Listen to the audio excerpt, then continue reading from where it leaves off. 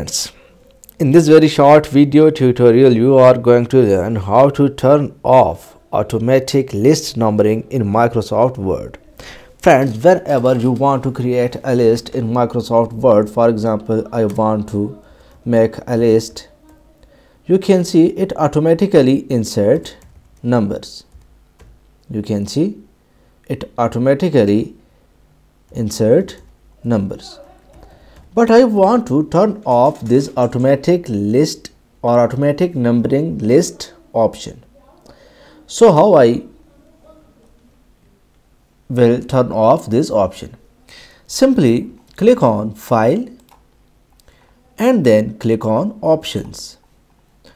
After that click on proofing then you can see here an option auto correct correct options click on it now click on auto format as you type. Click on it and then you can see here automatic numbered lists. Uncheck this box. Now click OK.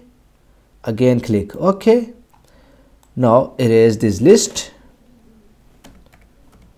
Now when you will create a list, you will see it do not automatically insert any number you can see I am inserting number.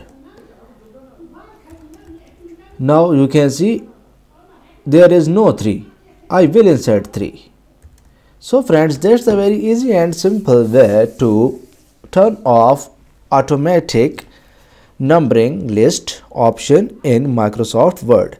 If my video helps you in any way please subscribe my channel and hit the like button. Thanks for watching. Thanks for your time. Take care. Goodbye